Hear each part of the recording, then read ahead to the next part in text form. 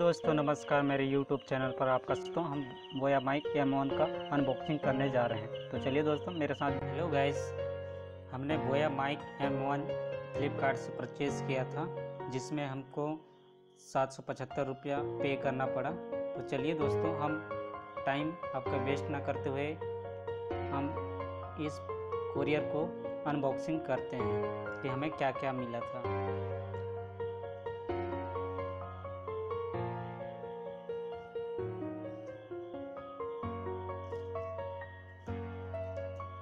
तो hello guys ये रहा आपका बोया माइक निकल रहा है। सबसे पहले चलिए गैस देखते हैं ये क्या है। तो दोस्तों, इसको हम देखते हैं, इसमें क्या है।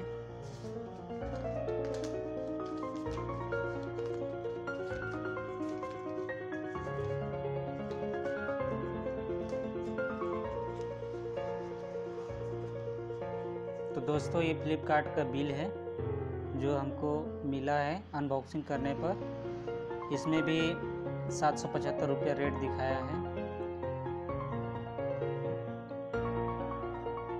इसको हम साइड पे रखते हैं और देखते हैं इस बॉक्स में और क्या क्या है।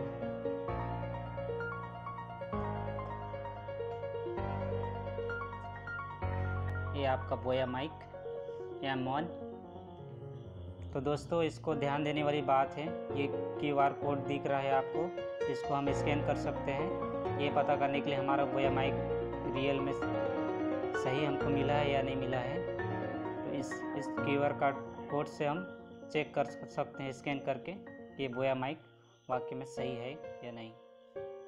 तो चलिए दोस्तों, चलते हैं। इसमें अब देखते हैं मैनुअल कि क्या क्या मिला है।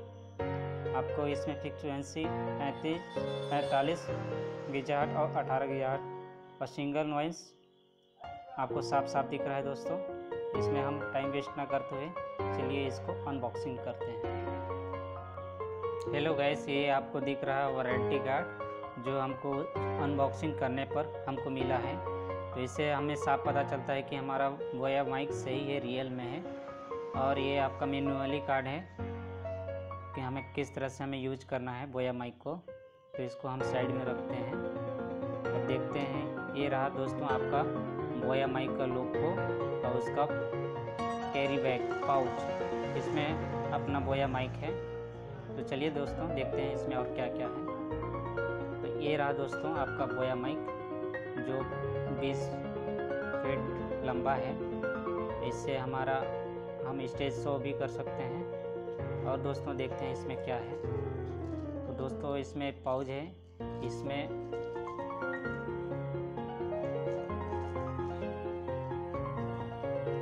इसमें देखते हैं दोस्तों क्या है। दोस्तों ये जेक दिख रहा है। इसको हम एम्पलीफायर में लगा सकते हैं। जब स्टेज शो करते रहते हैं तो।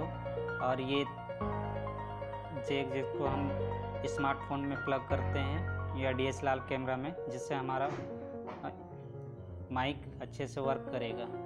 और दोस्तों, इसका जो ये देख रहा है आपको, बोया माइक का, आपको क्लियर से, इसमें एक स्विच दिख रहा है। इसमें जैसे हम स्मार्टफ़ोन से हम जब रिकॉर्डिंग करेंगे तो नीचे रहेगा, और डीएसएलआर कैमरा से अब जब करेंगे तो इसका स्विच को हम ऊपर कर देंगे। और इसमें दोस्तों, बैटरी है। तो चलिए दोस्तों, हम इसको खोल के दिखाते हैं।